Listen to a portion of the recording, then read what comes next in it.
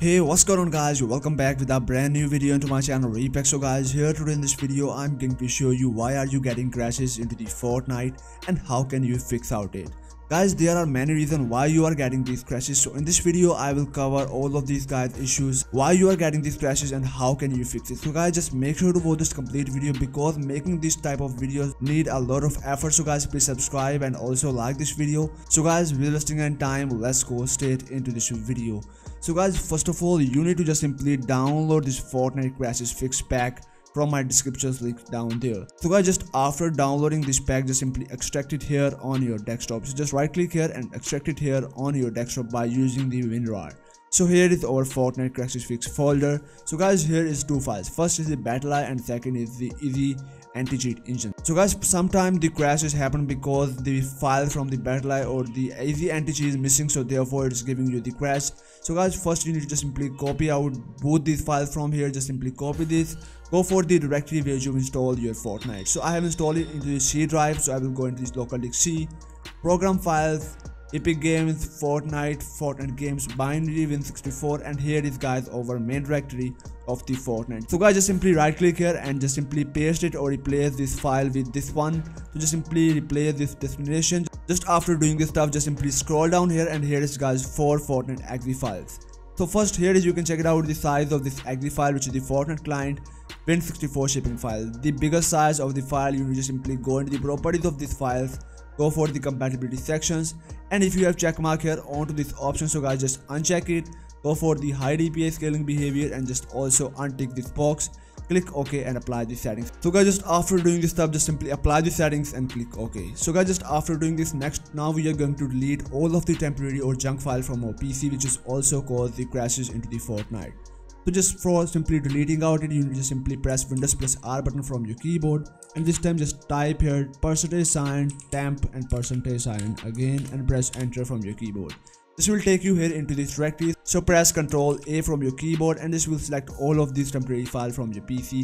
This is all the junk files. So just now delete these files, click continue and just simply delete all of these files.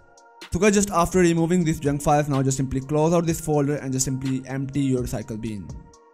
So guys just after deleting out all of this junk file from your PC now it's time to optimizing over windows because sometime it will also cause the crashing into the Fortnite. So just simply go into this window setting just click on this windows icon go for this window settings go into the update and security sections and guys make sure you have already updated your window onto the latest version. Just after updating your window also make sure guys your windows security system is turned on. Just go into the virus and the threat protections go into the manage settings and make sure the real-time protection is turned on on your PC because sometimes you also get get the uh, crashes because of the viruses. So guys you can just simply turn on these options. Just after doing this option now go back into the home sections. Now go for the gaming section and go into the gaming mode and make sure to guys turn on the gaming mode on your windows 10 and also guys make sure you have already updated your windows onto the latest version. And just after updating your windows now then just turn on these options so guys now here is the last and the final step. So guys now you need to just simply update your graphics driver. So how can you update your driver? I already make a lot of video but again i'm going to show you. For the nvidia users just simply you need to go here into the section for the nvidia drivers and just search it onto the google. Just open this first link from here and just simply download the driver according to your GPU model. But if you have the AMD GPU, so just go into the, this side. I also give you the link of this both side into the description of my this video. So just simply go directly here and download the correct driver for your GPU.